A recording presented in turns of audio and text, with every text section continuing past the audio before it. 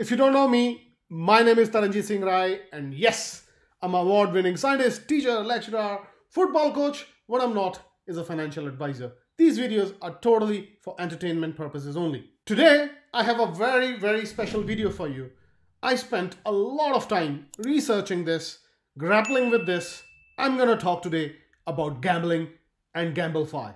I was brought up in a traditional Sikh family, so this is a taboo topic for me. However, I always like to challenge my beliefs. I always like to understand the other side. I always try to understand. And I went down the rabbit hole of gambling. So let's get started. Gambling, after I have made a case that gambling is not that bad, of course it is bad, uh, but, but please bear with me. I will actually give you four picks which I think have a potential to 100x, 20x, 50x, I'm going to start with rock solid picks and I'm going to gamble and give you one of the riskiest picks of the century. And also, I'm going to let you know what did I buy. In addition, I'm going to give you the DCA zones, the take profit zones. So because I haven't been able to make too many videos, bear with me. This will be a slightly longer video, but I promise I will fill it with knowledge. I will fill it with alpha and I will fill it with analysis. So every single second of your time counts. Gambling has been going on since Paleolithic period. Okay, it started in China. I think most of the uh, modern stuff, in one way or another, was actually invented in either China or India. For example, fiat, the money, the notes, they're all thanks to China maybe not thanks to China. In the earlier periods, Chinese used to gamble on uh, animals fighting, so cockfighting, uh, so on and so forth. But gambling has a really bad name, mostly because uh, most of the casinos, uh, gamble houses, they launder money. it's, it's open secret. Um, plenty of uh, Netflix series uh, on this. So who, who launders this money? It's mostly banks. 90% of laundered money goes via banks. 0.4% goes via crypto, and this is from uh, analysis. And again, the reason why money laundering is so difficult with blockchain is because everything is naked, everything is open ledger. It is difficult to falsify the records the way banks can easily do. There are many, many syndicates who control the gambling industry. Algorithms are in their favor. In the end, house always win, which is basically house is always right. Regulations are stacked against you. Algorithms are stacked against you. Mathematics is stacked against you. How can you get a slice? And the answer is gambling on blockchain. Everyone can see there should be proof of randomness, there should be proof of fairness. So I think once retail realizes there is a fair chance of winning something, they're gonna move to blockchains. Oh, by the way, gambling existed even before casinos. From China, it moved to Iran or the older Persian Empire. There were uh, gambling places there. And then uh, major tourist attractions like Las Vegas, uh, Monte Carlo, they gave gambling, you know, its identity. You know which country is number one for casinos? United Kingdom. This video is not for people from United Kingdom. So switch this off, please. But if you're not from UK, keep watching. So where else is gambling going on? Uh, I talked about casinos. I talked about gambling houses. Where else? Oh, one quadrillion. It's more than that now. Futures and derivatives market. it's all gambling. 2008 financial crisis. It was all banks gambling on household debt, on housing market. It was all gamble. You paid for the mistakes of the gamblers. On blockchain, this is not possible. It's peer to peer, player versus player. Every time a crisis happens, taxpayer puts the bill in. 2022 is not very publicized, but many of the energy companies had to be bailed out in Europe because they gambled away. they, they bet opposite way where the energy prices will go.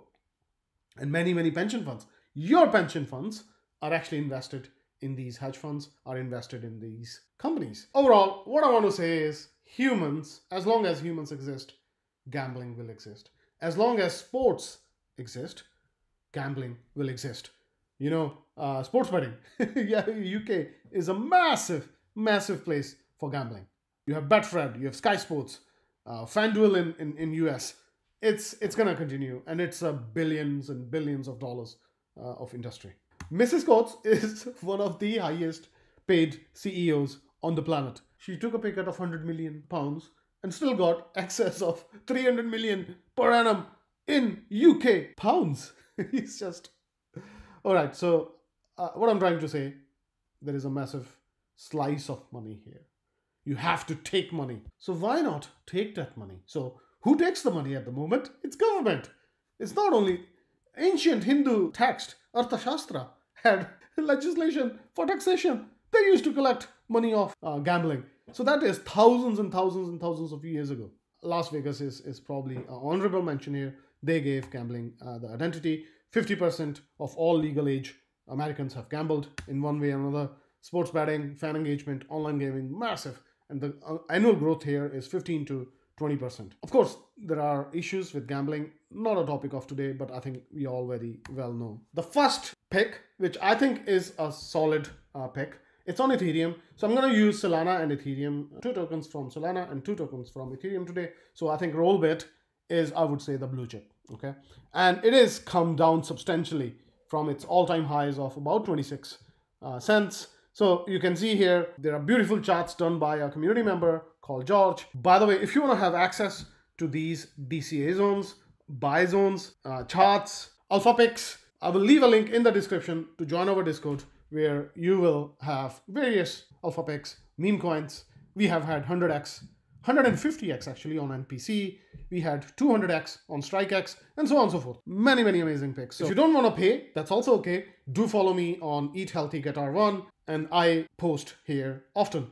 And also all my uh, disclosures are here. Which companies pay me to write and produce content are always here. I will always declare to my subscribers. I, I will always be transparent with my subs, even though very few of you uh, watch these videos. So Rollbit, I think is, is, is they have moved to uh, Ethereum from Solana. I think it's a mistake, but okay. Um, so the demand zone for Rollbit is 0.05, but I, I think it is already in the buy zone here. You can see there is a massive oversold uh, RSI reading as well. All-time highs were about 26, 27 cents. So there is massive upside even if Rollbit goes back to its all-time highs. Also guys, every single token I am gonna talk today has a burn mechanism. Some has aggressive burn mechanisms. Basically, you hold the token and the token supply decreases. Part of the revenue goes back into the token, buying it from open market. I think this is the best strategy to actually uh, make a token store of value. I think crypto is a gamble, but I think the real use case of crypto is number one, GambleFi. Number two, perp trading. And there are countless videos I've made on my perp trading uh, picks. And stay tuned, I have a banger video coming up soon on another platform, which I think will take everyone by storm. So you better be subscribed. So where can you get a Rollbit? It is on Uniswap version 3, a decent uh, liquidity, but there is a massive uh, dilution coming. Also, the fully diluted market market cap is approximately 200 million. So again, it needs much, much more money to move uh, this token. The next token on my list, again, uh, from the sliding scale of safe bets to risky. As, as I go along, it will be risk, risk, risk, risk, so on and so forth. So WINR protocol, it is, uh, I would say, in a discount zone now. The premium zone up here, demand zone one, I think it is in already.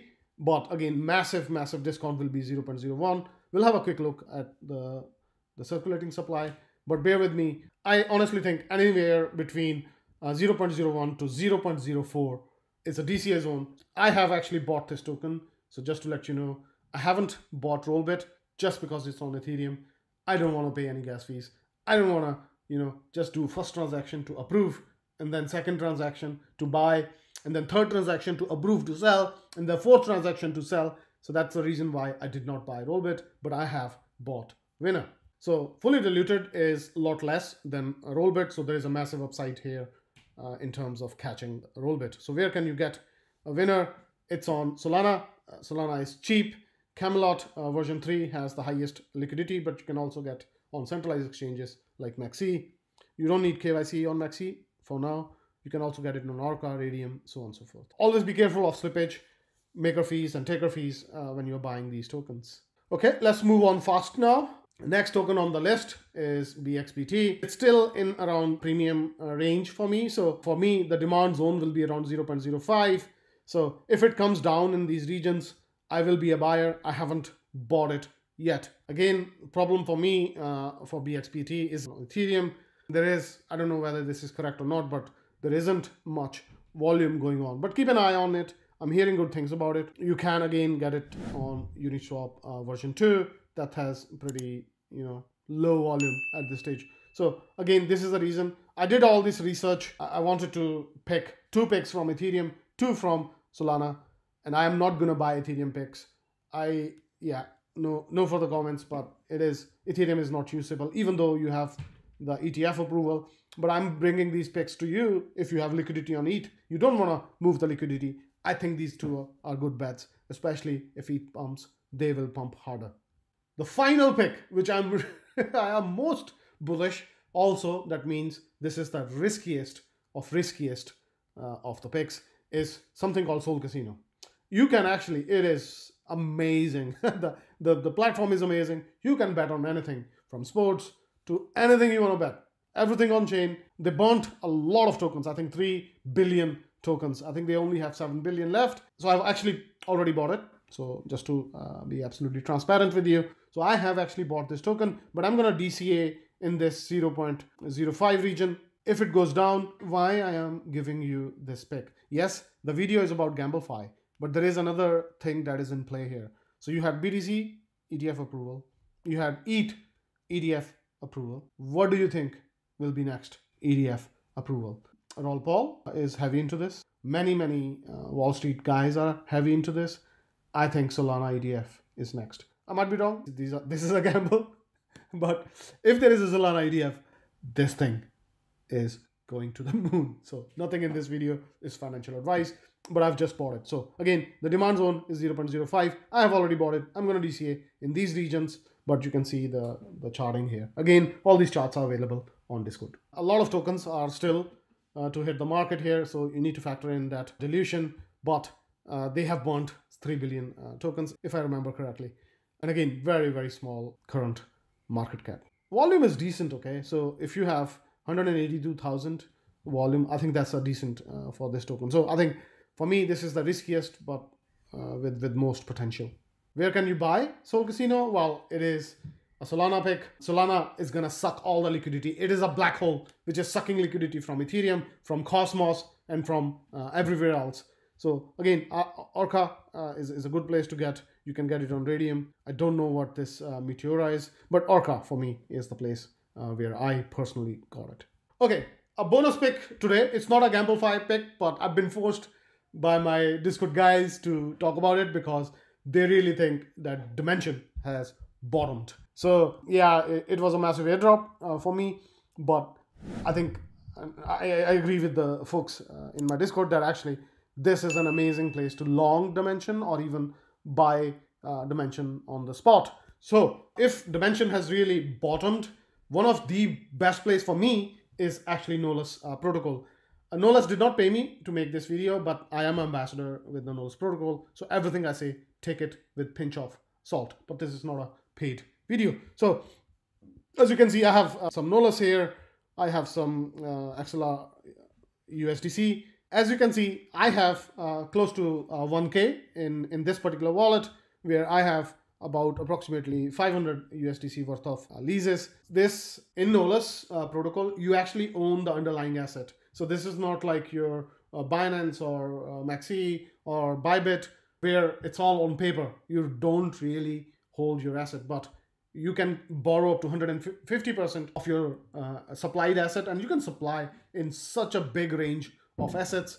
I think this is one of the safest way to long something that you think uh, is going to go into a parabolic mode or will have a nice price action. So for me, that is Dymension And if I want to long it, I'm going to long it on Nolus protocol.